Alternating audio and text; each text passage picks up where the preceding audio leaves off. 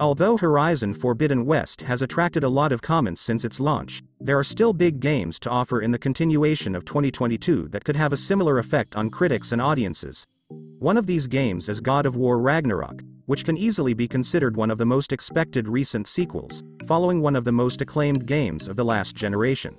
Given the foundation that the previous version of the series succeeded in creating, it is easy to trust the creators in expanding and improving it, but the fans of this series each have their own expectations. The greatness and importance of the game has also increased these expectations. In this video, we're going to talk about some of these expectations. We want to turn our attention to what we don't want to see. God of War 2018 wasn't entirely without problems despite its many strengths. One of those that came to the eye of the old fans of the series was the low number of boss fight compared to the past, there were few crucial struggles with boss fight and there was plenty of time until the next fight. Even the small bosses created to fix this problem were overly similar and soon became repetitive. Of course, the Valkyrie were able to cover this flaw to a large extent.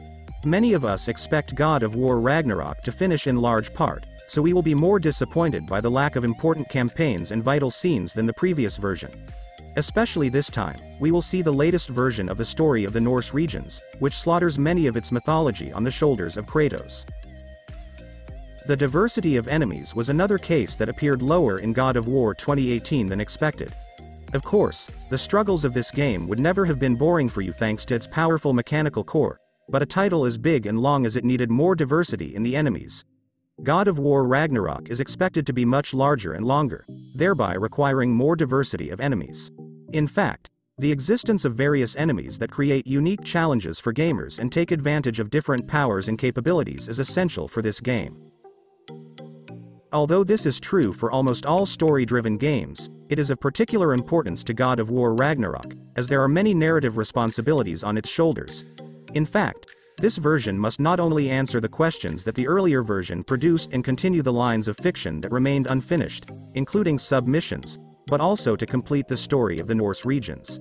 When God of War 2018 released, many of us suspected that the story of the Norse regions would become a trilogy, taking into account its end and that it had not yet addressed many things. Now that Ragnarok has a responsibility to do all that in a game, it is vital to ensure that the story is not hasty in narrating its sections and important moments.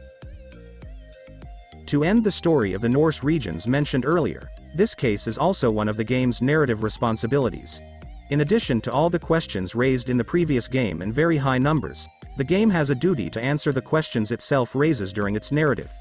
This hasn't always been an easy task, as there are many examples of disappointing endings to popular stories that slipped in this way. Given the perennial importance of this series in the story section and the extent to which fans consider Kratos, Atreus and what happens to them important, Ragnarok has a duty to do great in this section. Most likely, God of War Ragnarok will be a very long game, even longer than the 2018 version. In most cases, one of the most challenging things in long games is the speed of their process. To the extent that even the excellent games of this group such as Persona 5 are weak in this section. Although Ragnarok won't have nearly 100 gameplay hours like Persona 5, it still has to maintain a consistent trend in its two parts of gameplay and story.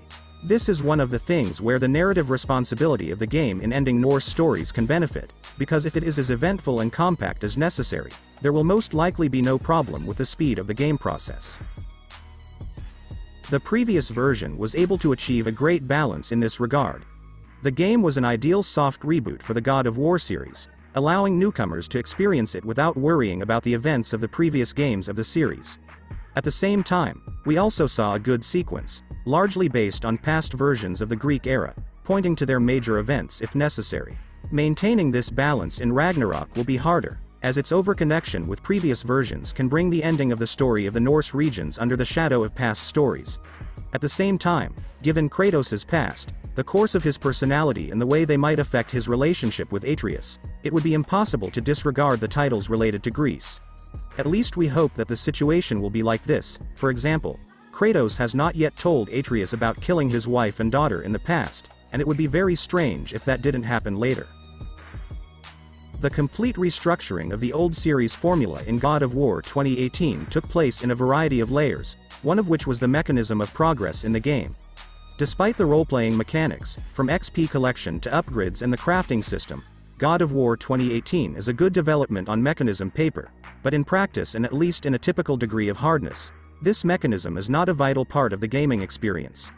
We expect Ragnarok to make progress in this sector. Looking at the capabilities and attacks of Runic that were available in the previous version, we find that Santa Monica Studio does not have a hard time providing different and influential upgrades and capabilities for players. It is hoped that similar ideas will be applied in the loot game section so that increasing the level and receiving new and powerful tools will not seem futile and create suitable options with a tangible variety. Although there is still no mention of Kratos' encounter with the end of his career at God of War Ragnarok, many theories have been suggested by fans that they have reasonable grounds for the high probability of this happening. You might say that a man with a past like Kratos can't have a happy ending, and the premise of his death at the hands of Atreus is in perfect agreement with the continued string of this series of games in the murder of the father at the hands of the son. And as a result, Santa Monica may decide to retire Kratos and from now on put Atreus a protagonist in the series. These are logical reasons for the possible end of Kratos at the God of War Ragnarok end. But with such an event, a big mistake is made, a much bigger mistake than Joel's death in The Last of Us Part 2, because Kratos is the face of this series. He is deeply rooted in the identity of this franchise, especially now that he has enjoyed an important depth and complexity that has made him a better and more attractive character. We all enjoy telling stories bravely and don't like anything more than that, but if these theories happen, many fans will be upset.